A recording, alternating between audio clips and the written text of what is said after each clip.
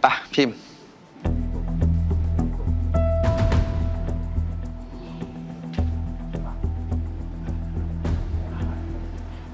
คุณนายคะ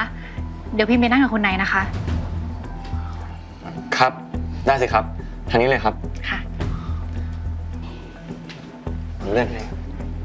ผู้หญิงก็แบบเนี้ยแหละ ถ้าอยากได้ความจงรักภักดี